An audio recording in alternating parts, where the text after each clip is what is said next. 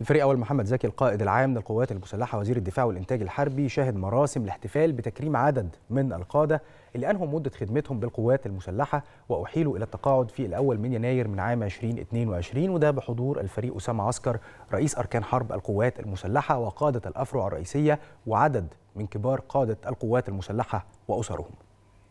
شهد الفريق أول محمد زكي القائد العام للقوات المسلحة وزير الدفاع والإنتاج الحربي.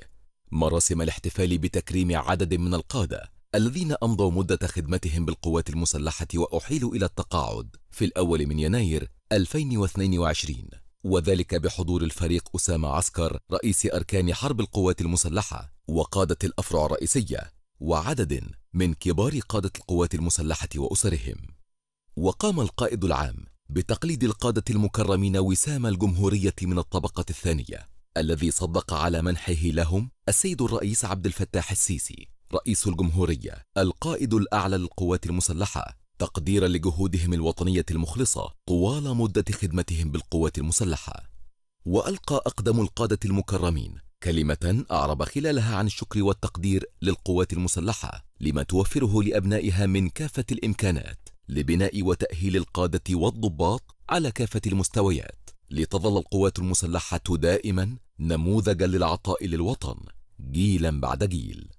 ونقل الفريق أول محمد زكي تحية وتقدير السيد الرئيس عبد الفتاح السيسي رئيس الجمهورية القائد الأعلى للقوات المسلحة للقادة الذين أمضوا مدة خدمتهم بكفاءة واقتدار ووهبوا أنفسهم لخدمة الوطن والدفاع عنه. موضحا أن القوات المسلحة المصرية ستظل نموذجا يحتذى به في الانضباط والالتزام والعمل من أجل رفعة الوطن وحماية مقدساته مشيرا إلى أن نقل مسؤولية القيادة من جيل إلى جيل يعد تقليدا عسكريا أصيلا تحرص عليه القوات المسلحة التي قدمت على مدار تاريخها نخبة من أعظم القادة الذين تمسكوا بمبادئ العسكرية المصرية وقيمها العريقة.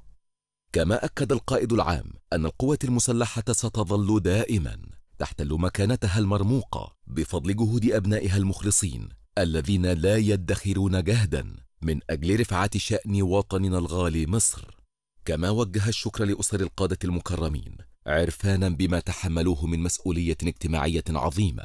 كان لها أكبر الأثر في إعداد أجيال من أبناء مصر قادرة على العمل والعطاء.